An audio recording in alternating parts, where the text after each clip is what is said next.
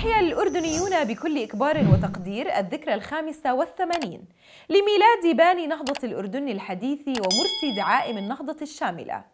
المغفور له جلالة الملك الحسين بن طلال طيب الله ثراه.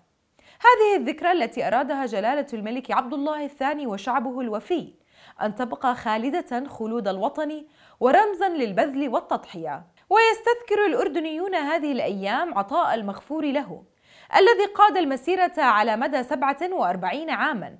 قائدا حمل الأردن إلى بر الأمان والسلام برؤيته الثاقبة وحنكته المشهودة.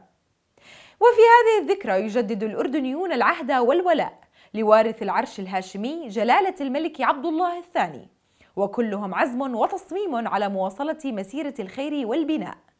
دعينا الله أن يطيل في عمر جلالة أبي الحسين وأن يحفظه دخرا وسندا لشعبنا الأردني ووطننا العزيز.